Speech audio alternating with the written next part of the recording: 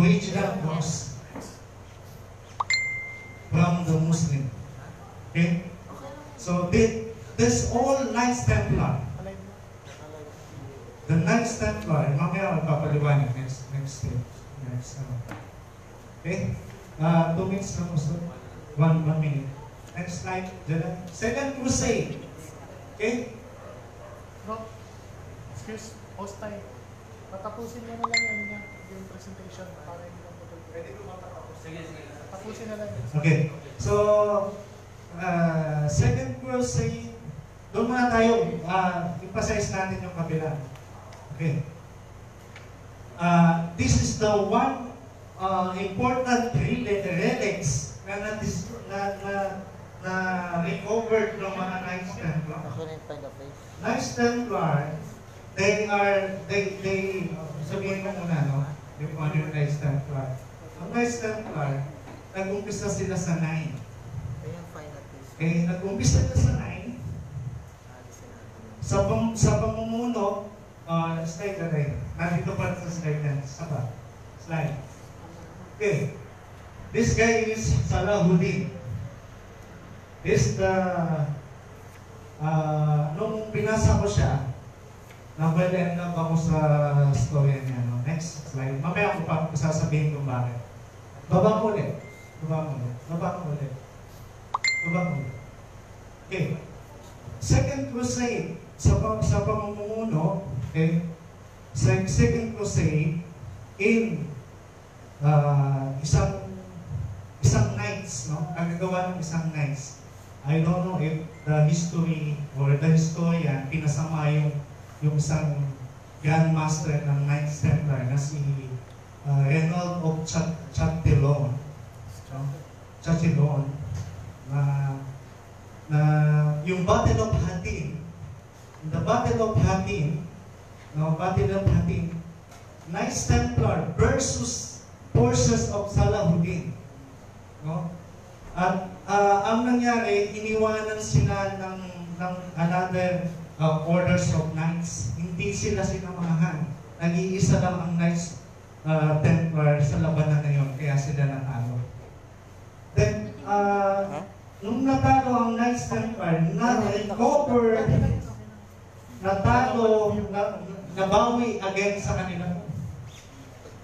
Sa 1099, nabawi, na, nabawi nila to sa, sa 8, uh, ano nga to?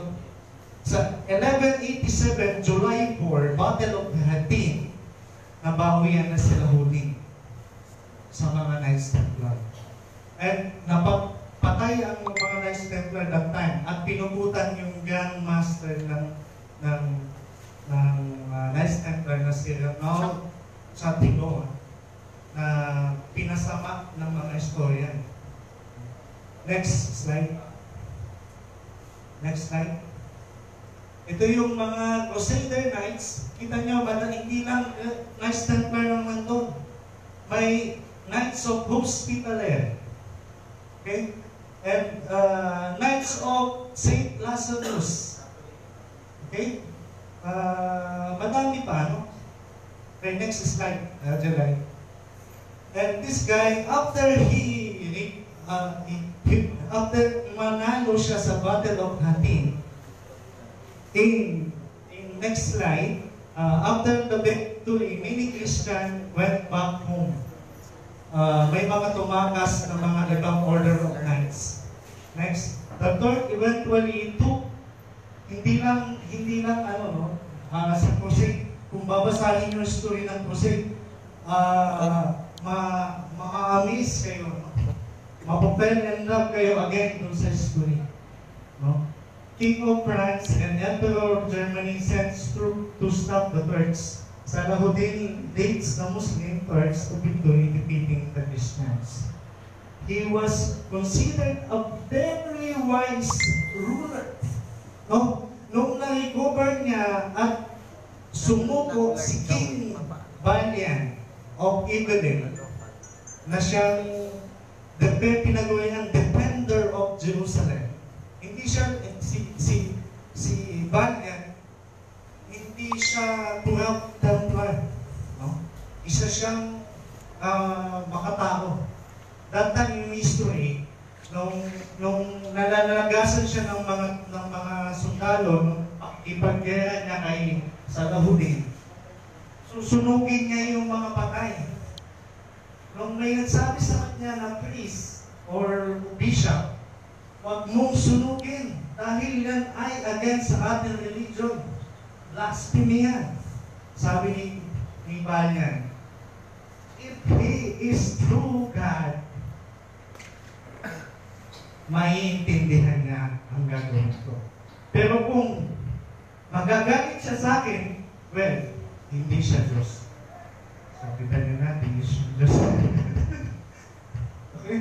Uh, he is king of, uh, count of, uh, ang duke, no, of evening, si Valiant. Okay, next is, next slide then.